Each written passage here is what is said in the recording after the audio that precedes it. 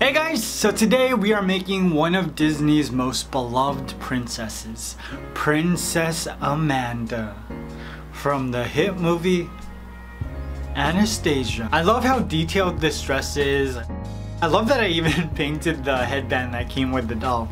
I think this turned out great, so let's get started. My name is Princess Jasmine, and you're watching I'm a genie in a bottle, baby. Go, go. We're making a Princess Jasmine doll cake and I love this, so let's get to it. To create this doll cake, you're going to need your Wilton's doll cake pan. I love this thing. I made so many doll cakes from it and I'm gonna continue with it. Because this is really high, I always have problems cutting it into three equal layers. So these are kind of equal and they're also kind of level. Not really. So I took the bottom cake, I added some buttercream into the middle and just spread it out with my offset spatula. I'm gonna do the exact same thing, add another layer of cake and then add some more buttercream. I'm using peaches and cream buttercream. Mmm, that would be good, right? This is just vanilla, but a boy can dream. Buttercream in between the next layer and then I add the final layer of cake. Then I gave my entire cake a crumb coat. After that, I took my cake, placed it into the fridge to chill, and I was actually watching my favorite movie of all time. Can you guess? The Terminal. You guessed it! Wow! Nobody ever guesses that because nobody really likes that movie. Except for me. I love the movie. Oh man. I love airports. I love them. Whenever somebody needs to go to LAX, they call me. Because I love driving it. I love the, the drive to LAX, which is not even a beautiful drive. Oh, and I love going around in a circle around the airport. It is so much fun. I don't know why. There's people going in and out of the lanes, and so you can't really be like aggressive, like, no, you can't come in. It's not your turn yet. You're constantly having to be like, hey, come in. Come in now, come in, come in, come in. It's not like that in LA. In LA, it's like, don't come in my lane. You don't belong here. Turn right. No, this left lane is not for you either. Everybody's so mean. I hate driving in Hollywood. It's the worst. I get panic attacks sometimes when I think about having to drive to Hollywood. And the tourists, don't even get me started. Let's get back to this cake, you guys. Now I covered my entire cake with some jasmine dress color fondant. What color is this? It's in between two shades, is what I'm gonna say.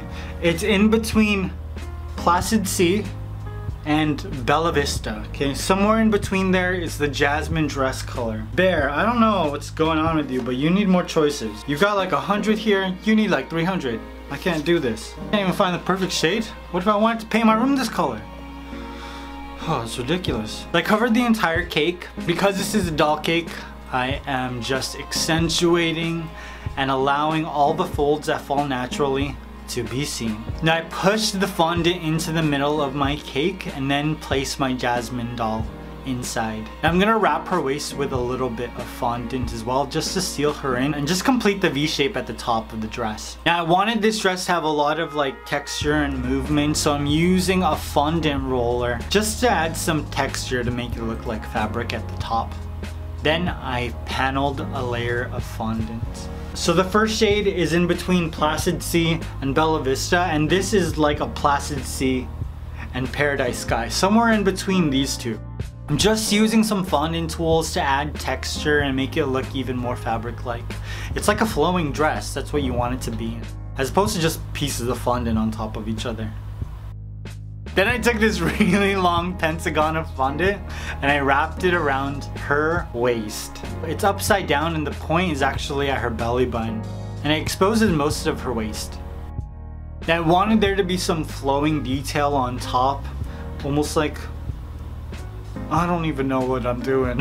I'm gonna take more of that Paradise Sea fondant and just create some fabric-like texture around her bust area.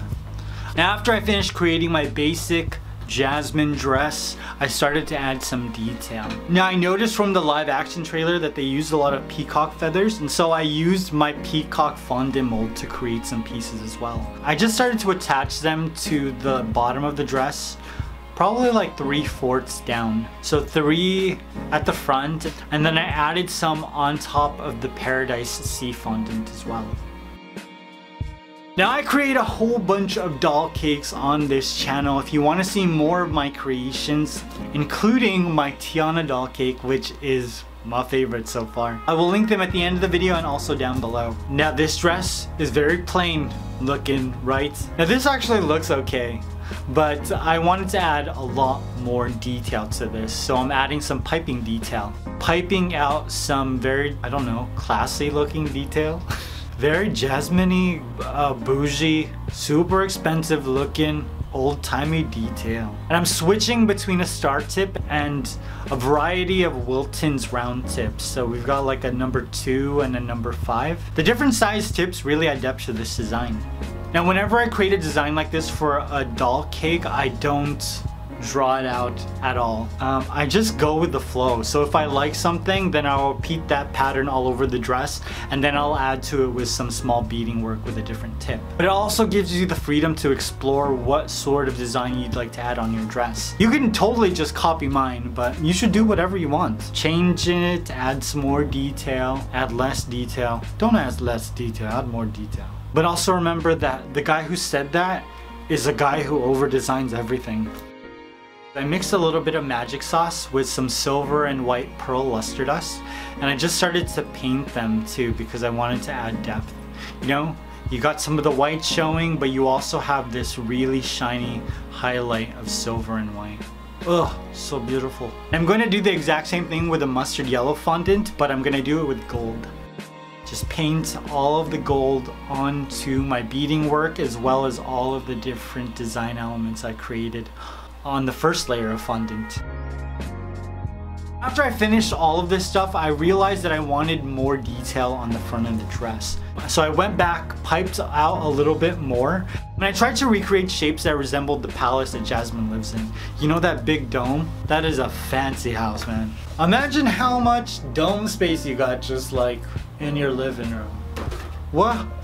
Do they use that for anything or is it just like big? Their air conditioning bill must be extremely high because yeah, I don't know how you're gonna keep that whole place cold.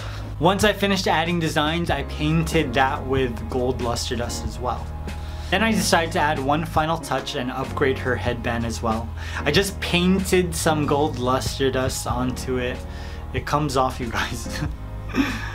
it'll come off on your hands if you're trying to play with this doll. And voila! My jasmine doll cake is complete. Da, da, da, da. As you can see, I added some gold trim to the bottom of the dress. I just thought it looked so fancy. It looks so cool. I am super proud of this cake. Well, as soon as I saw the Aladdin live action trailer, I was like, I need to do a jasmine cake. I don't know why it's not on the channel already. It's on the channel now. There will be two more Jasmine cakes because I want to do Jasmine but live action version as well. So when those dolls come out, you can expect me to create two more designs as well as a magic lamp and the genie. Now make sure you hit that notification button so you can see all the videos I post on this channel as soon as they go up. I hope you guys enjoyed this. I love you. I will see you very soon. Peace!